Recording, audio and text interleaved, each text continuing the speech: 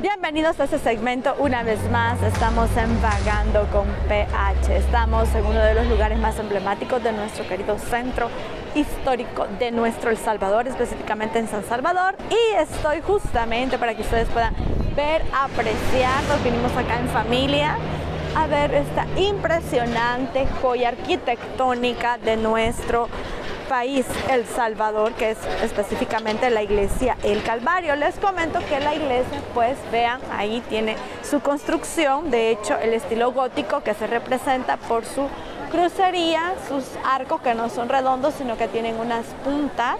Y de hecho, pues representa dentro de toda esta iglesia que fue construida en el año de 1660 básicamente pues por la orden del fray Payo Rivera, que fue un obispo, si no me equivoco, arzobispo de Guatemala, y pues se está preparando para este momento, eh, para este tiempo de cuaresma, para esta semana pues de reflexión, si no me equivoco, pues de acá parten también algunos de los eh, procesiones que se hacen durante esta Semana Mayor.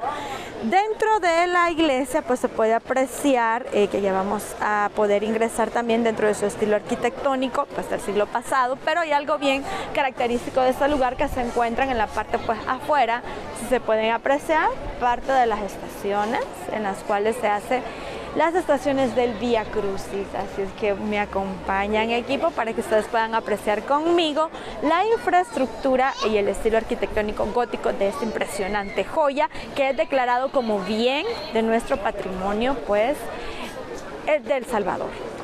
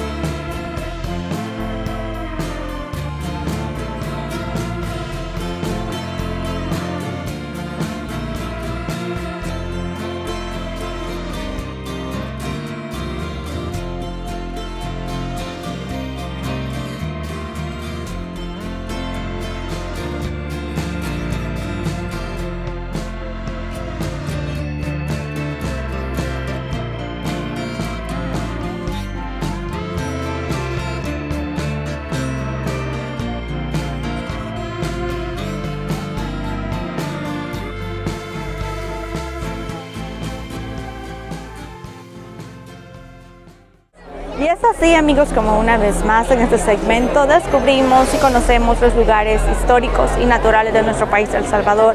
Espero lo disfruten y desde luego siempre que hagan turismo interno háganlo de manera responsable, depositen la basura en su lugar, no lo olviden y disfrutemos de cada uno de sus lugares. Así que se cuidan y nos vemos en un próximo segmento. Saludos.